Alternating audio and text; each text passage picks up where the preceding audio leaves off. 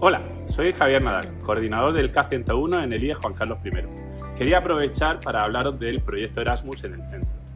Eh, Juan Carlos I apuesta por el proyecto Erasmus.